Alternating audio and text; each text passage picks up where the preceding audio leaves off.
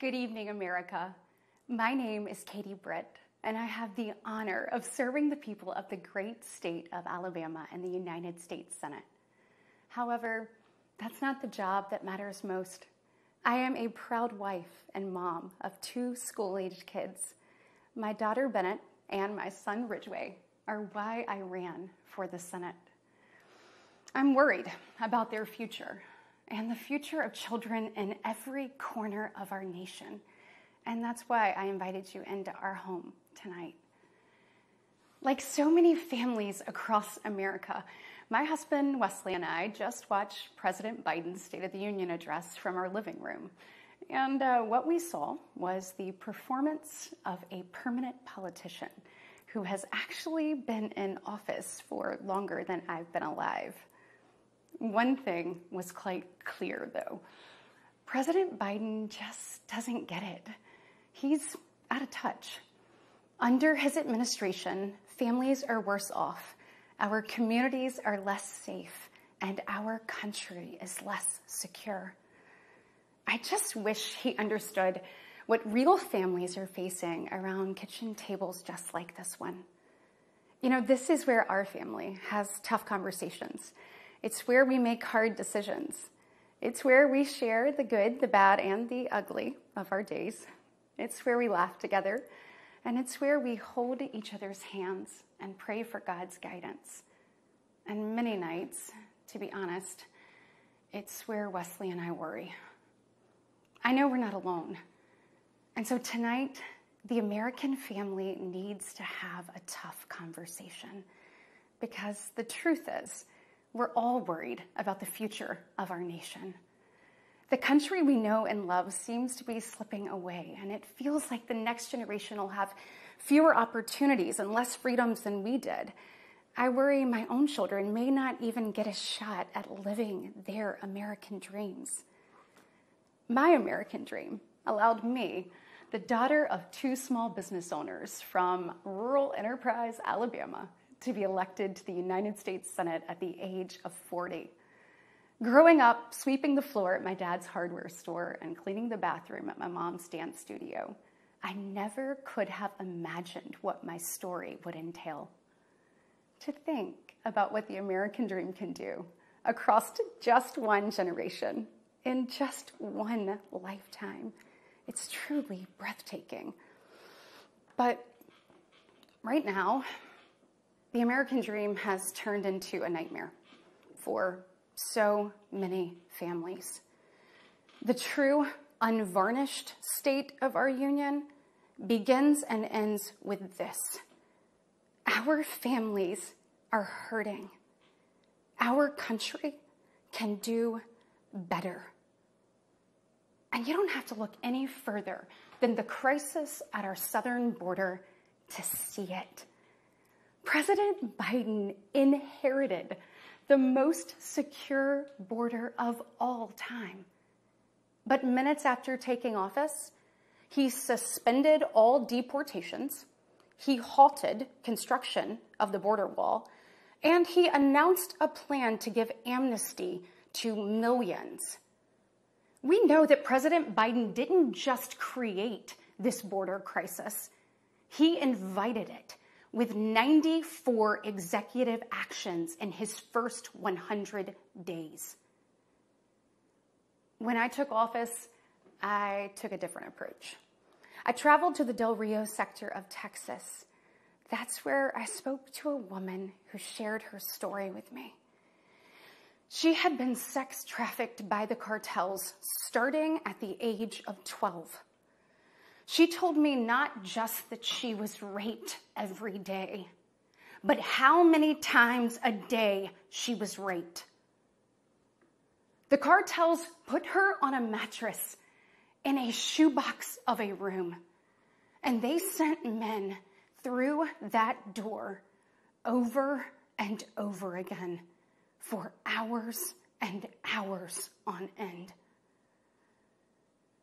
we wouldn't be okay with this happening in a third world country. This is the United States of America, and it is past time, in my opinion, that we start acting like it. President Biden's border policies are a disgrace. This crisis is despicable. And the truth is, it is almost entirely preventable. From fentanyl poisonings to horrific murders, there are empty chairs tonight at kitchen tables just like this one because of President Biden's senseless border policies. Just think about Laken Riley.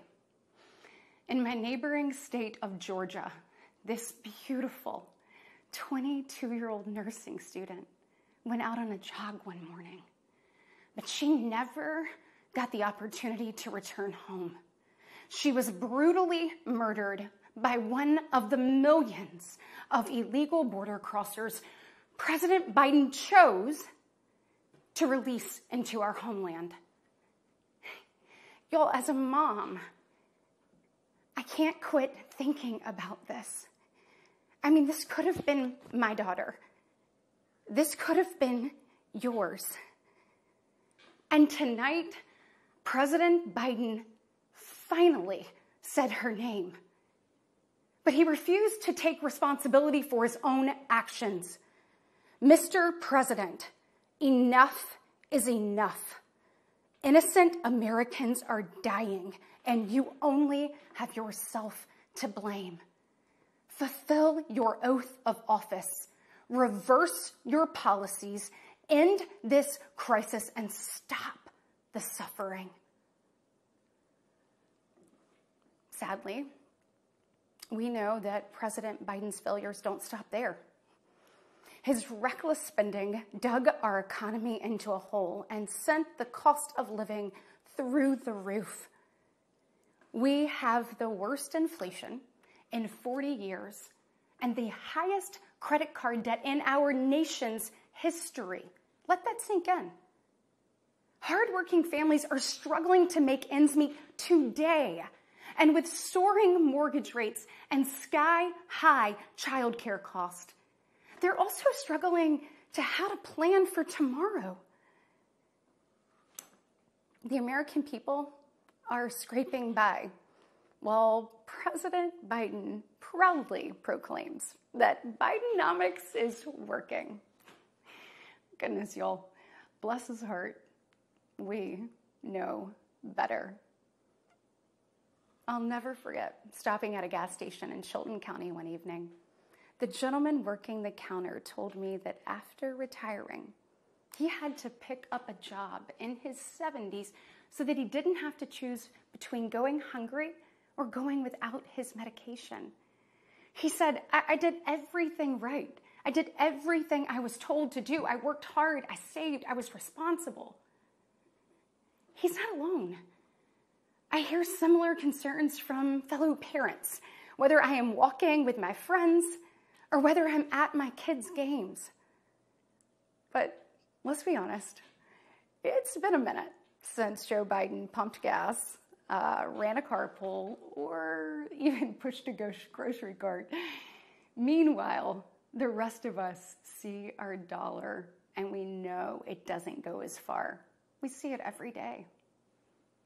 And despite what he tells you, our communities are not safer.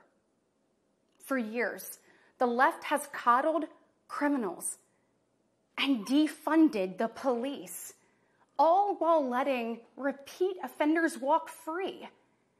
The result is tragic, but foreseeable. From our small towns to America's most iconic city streets, life is getting more and more dangerous.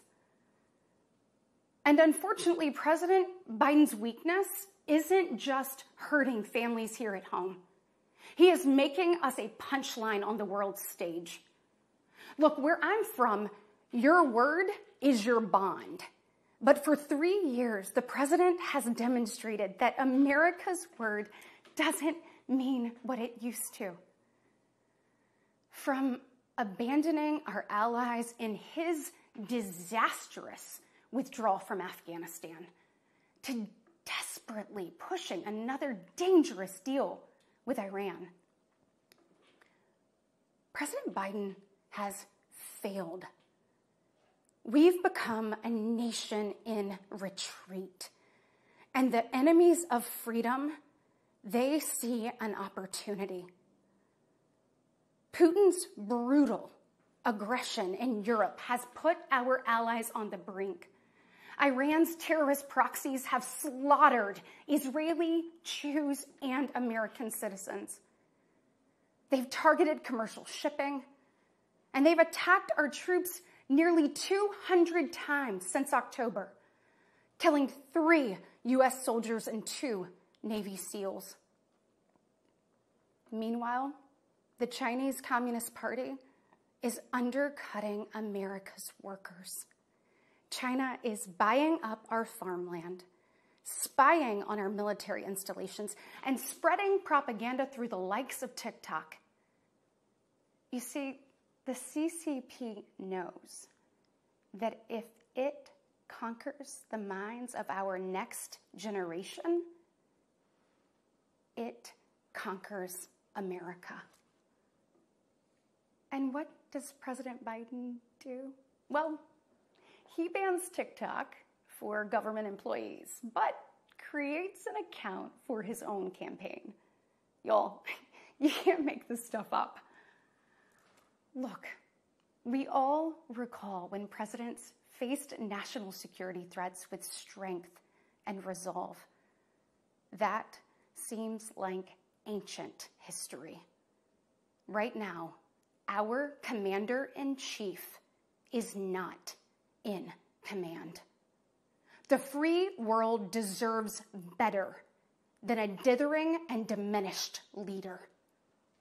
America deserves leaders who recognize that secure borders, stable prices, safe streets, and a strong defense are actually the cornerstones of a great nation. Just ask yourself are you better off now than you were three years ago?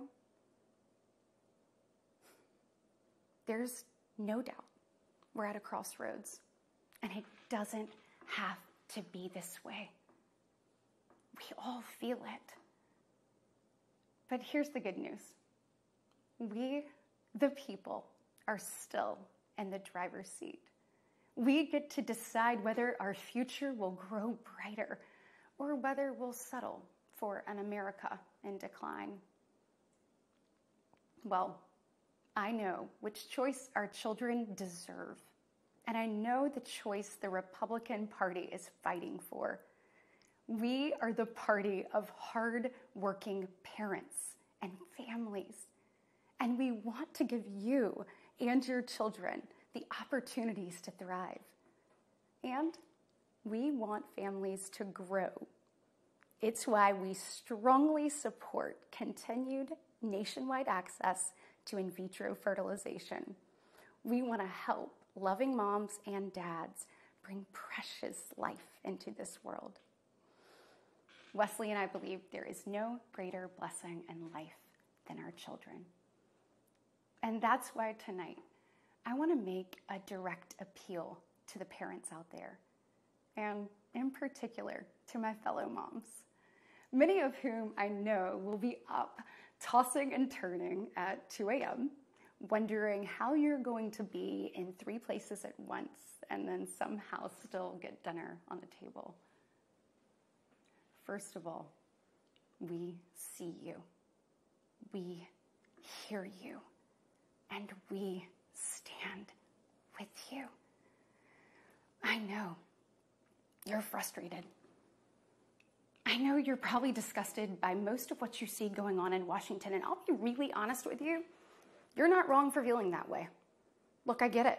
The task in front of us isn't an easy one, but I can promise you one thing it is worth it. So I am asking you, for the sake of your kids and your grandkids, Get into the arena. Every generation has been called to do hard things. American greatness rests in the fact that we always answer that call. It's who we are. Never forget, we are steeped in the blood of patriots who overthrew the most powerful empire in the world. We walk in the footsteps of pioneers who tamed the wild. We now carry forward the same flame of freedom as the liberators of an oppressed Europe. We continue to draw courage from those who bent the moral arc of the universe. And when we gaze upon the heavens, never forget that our DNA contains the same ingenuity that put man on the moon. America has been tested before, and every single time we've emerged unbowed and unbroken. Our history has been written with the grit of men and women who got knocked down. But we know their stories because they did not stay down. We are here because they stood back up.